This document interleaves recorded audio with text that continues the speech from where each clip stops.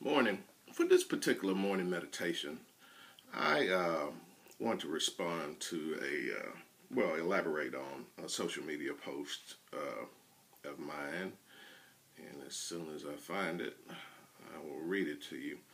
Um, but uh, if we were to uh, give this particular meditation a title, it was Taking Responsibility for Your Own Life taking responsibility for your own life. I wrote, Security comes from an ability to produce.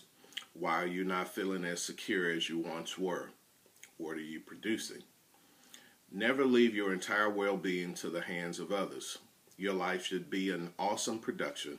First of all, to give God glory and to give God the, the praise, reverence, obedience, and respect that God is due.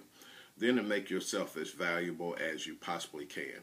Study your craft, master your craft, so unto kings demand to be in your presence. Stay the CEO of YOU Inc.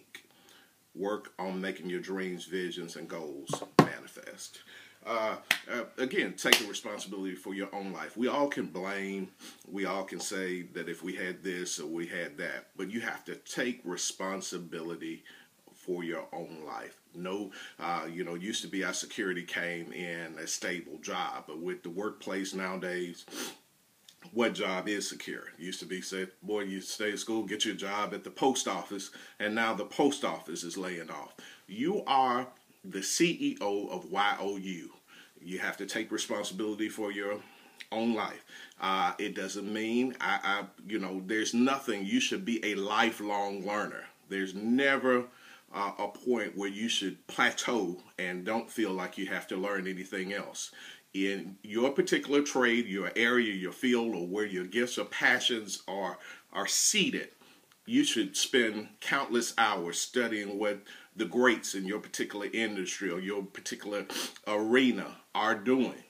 And then, on top of that, study your craft. You need to be the master of your craft. You need to take responsibility of YOU we are you can't be dependent and always let others write out the scripts for you. You can't spend your whole life working to make someone else's dream come true. You need to spend the hours to burn the midnight oil. You need to get there earlier or maybe stay there later than everyone else to make your own dreams come true. We're, we're, we're moving into this day where we're uh, you know uh, we're uh, independent agents. I don't care if you work for someone. Let your light shine. Uh, work uh, like you've never worked before. Stay diligent in what you do.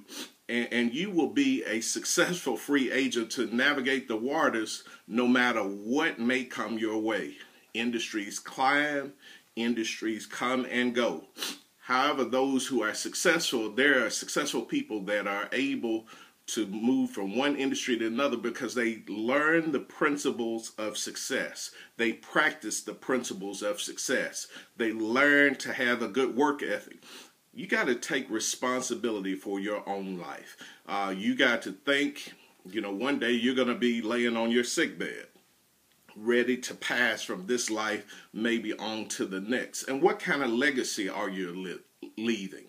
The scriptures declare a good man leaves an inheritance to his children's children.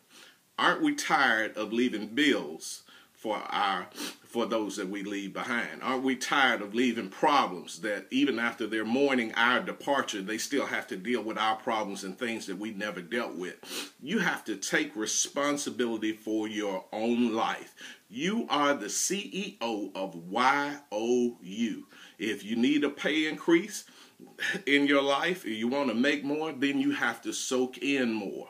You got to soak in more. You got to work harder. You need to learn before you earn on many occasions. So never stop being a student of life. It doesn't mean that you have to go to Princeton, Harvard, or Yale. There are people that are succeeding uh, because they stay true to their craft and they're always in the king seat, in the driver's seat and being in being the CEO of YOU Inc. You need to take responsibility for your own life. No one else cares as much about where you're going most times than you do. Take responsibility for your own life. This is what's missing from your success piece.